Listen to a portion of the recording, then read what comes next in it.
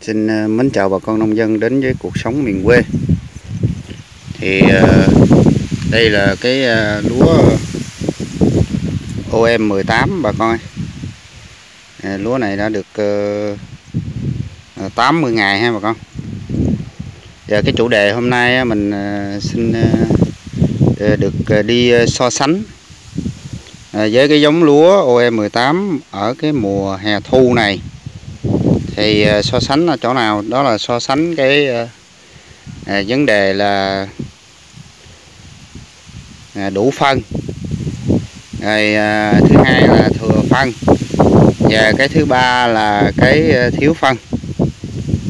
Thì đây là cái cái khu vực này á, thì mình nhìn nó bông như thế này. Tức là đây là cái hiện tượng mà bà con thấy là nó à, phân nó vừa đủ ha để bà con xem phân nó vừa đủ thôi thì chỗ này cũng ờ, nói chung là lúa nó cũng hơi thưa. Thì ờ, bà con thấy là cái màu ờ, nó vàng chanh như thế này rất là đẹp.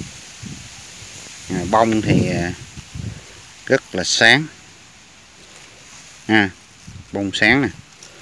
À, cho nên là bà con tôi thấy là mình à, đối với cái giống này thì ở cái vụ hè thu cũng như là đối với vụ ba thì à, ở cái giai đoạn nhỏ thì mình à, gãi phân mình à, nung như thế nào đó thì nung.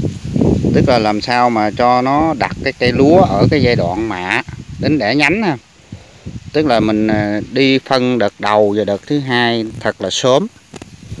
Để đến cái đoạn giai đoạn thứ ba thì làm sao mà à, lúa cho nó vàng chanh lại ha bà con.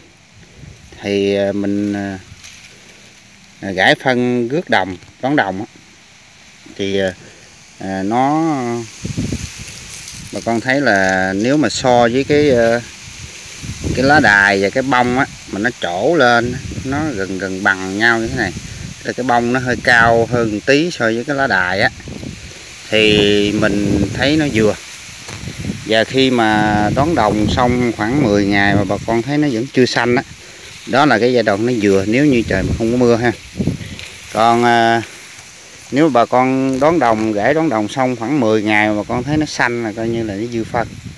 À, cho nên là giữa cái đợt bón phân đợt 2 với cái đợt à, bón phân đợt 3 thì bà con phải cách nhau cho nó xa. Làm sao mà khoảng đợt phân đợt 2 á bà con tranh thủ khoảng ở cái mùa vụ 3 khoảng 15 16 ngày rồi bà con à, đi dứt luôn cái đợt phân thứ hai đi. À, để cái à, phân ba thì cái giai đoạn nó kéo dài đến 40 ngày thì à, tôi thấy là nó hai mươi mấy ngày thì nó vàng chanh lại bà con gãi vô. Thì nó ít có bị cái hiện tượng mà tôi thấy là nó vừa đủ phân thế này thì nó ít có cháy bị lá nè. Rồi à, nó bông nó sáng nó không có lem ha. Đó là cái cái vừa đủ phân. Rồi, xin mời bà con sẽ tiếp tục xem ở cái chỗ mà nó nó hơi thừa phân bà con. Tức là những ở những cái nơi mà nó nà lung á. Bà con xem tiếp rồi đây là cái ờ, chỗ mà à, nó gần như là nó tới phân. Nó tới phân chứ nó chưa gọi là nó nó nó dư nha bà con. Cái này nó tới nữa nè.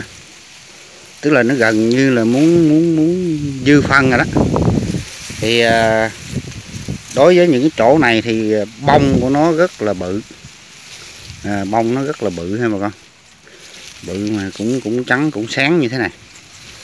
Nhưng mà cái hiện tượng mà chúng ta tới phân như thế này thì nó rất dễ dẫn đến cái hiện tượng là đen lép hạt và bị cháy bị lá rất là nhiều ha bà con. À, bà con xem.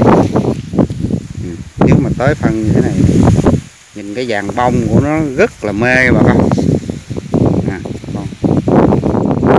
Đó là tới phân. Cái này là gần giống như là nó muốn muốn dư phân rồi đó. Còn à, mình à, à, đi kiếm cái chỗ à, dư phân để bà con xem. Rồi đây. Đây là cái hiện tượng dư phân. Thì bà con thấy là một là à, nó cháy bị lá hai là à, bị lép vàng rất nhiều nha bà con. À, bà con xem nè. À, nguyên cái bông lúa này hầu như là nó à, nó lép gần hết rồi à, nó lép gần hết. Thì nó bị nó dư phân thì nó hay bị trồm như thế này nè. À, bị đơ trồm trồm trồm. Rồi đây là cái chỗ dư phân nữa nè bà con. À, bà con xem nè nếu mà nó dư phân rồi lá nó lá đài nó rất là xanh. À, bông thì nó nó giấu đi rồi. À, mình thấy lá đài nó dương lên thượt thượt thượt thượt như thế này. Ha. Thì sẽ dẫn đến nó cháy bị lá. Lỗ lỗ như thế này bà con. À, cái lỗ chừng một mét vuông ha. Rồi có chỗ thì nó mưa nhiều nó cháy nó lan luôn bà con giờ bà con xem cái bông lúa nè. À, khi mà nó à, nó cháy bị lá cháy bị lá rồi thì bà con xem.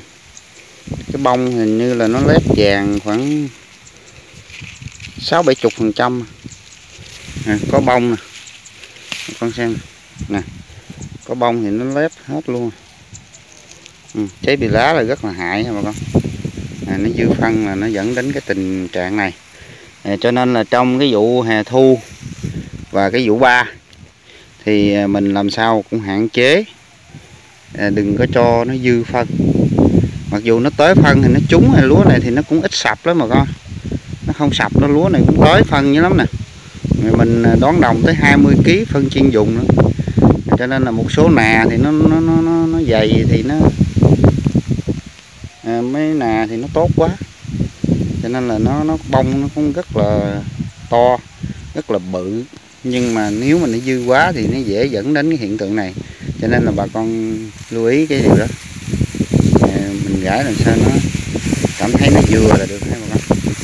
Dày thưa ít quá thì cũng không được. À, chút nữa mình sẽ lại kiếm cái chỗ mà à, nó thiếu phân rồi là những cái gò nó đẻn mình à, quay cho bà con xem nó thiếu phân thì nó như thế nào à, chỗ này đây là một cái hiện tượng mà tôi thấy là hơi hơi thiếu phân nè. Tức là nó hơi thiếu phân. Thì ờ, bông nó sẽ cao hơn cái lá đài rất nhiều à, cao hơn lá đài rất nhiều ha. Lá đài tới đây thôi. À, lá đài tới đây. Mà bông nó cao như thế này. Khi nó chỗ nó cao lắm. Giờ bà con thấy nó hơi yếu phân nè thì uh, à, cái bông của nó hơi nó hơi ngắn nè. Và nó nó trồi lỗi và con thấy nó mê lắm nó phơi bông lên trên á. Tức là nó không có bị giấu ở trong lá.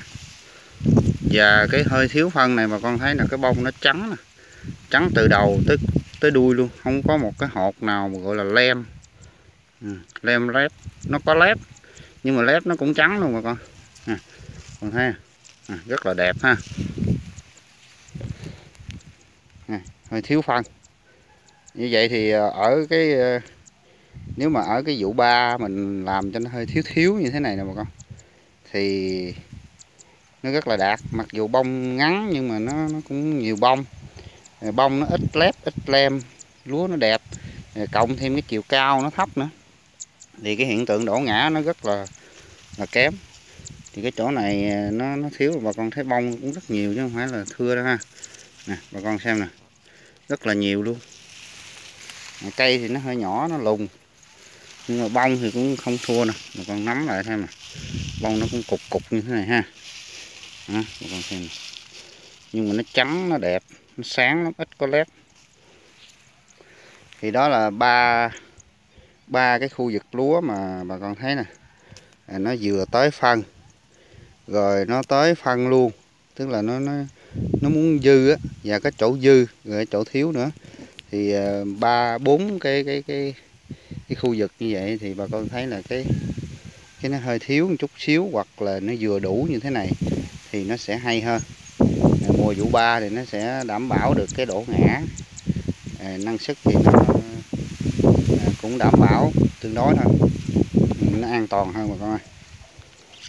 Thì đó đều chia sẻ cùng bà con vậy ha bà con thấy à, hay thì nhớ cho một like và à, đăng ký kênh bấm nút chuông để theo dõi những video mới nhất của mình ha. À, mến chào bà con.